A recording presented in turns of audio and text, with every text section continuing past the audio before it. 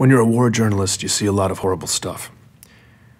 All the stories I've done, I've seen the absolute worst of humanity. But I've also gotten to see the best. Six years ago, I saw him, the greatest, most mysterious hero of our time, up close in action. I witnessed firsthand what he did that day, and it changed everything for me. Anyone listening to this knows exactly who I'm talking about. The guy who saved us saved Earth, saved mankind. Master Chief Petty Officer Spartan 117, whom we now know is simply the Master Chief. A few months ago, I was hired to do an in depth profile on the Chief. Exclusive access, the whole thing.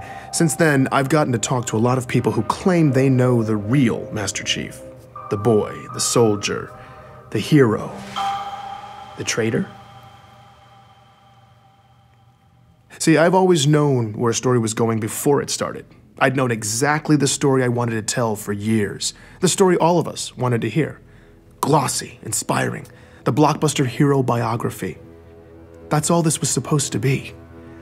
But the truth isn't always that clean. When I pulled that first loose thread, something broke.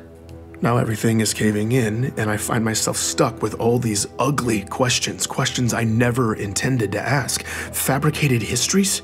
People who aren't who they say they are? Cover ups of cover ups? That steady drumbeat of theories that used to sound insane, now they don't seem so out there.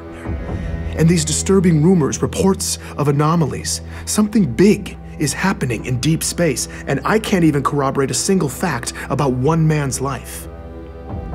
It's clear to me now I can't fix the pretty story, but maybe I can break the ugly one. For the first time in my career, I can honestly say I don't know the shape of where this is going. And in fact, the, the, the, possibilities have me lying awake at night, but I believe we all deserve to know the real story. We need to know where this leads. I know I do. So I find myself back at the beginning. Who is the Master Chief? Where does he come from? And is he keeping us safe? Join me as I hunt the truth about the Master Chief.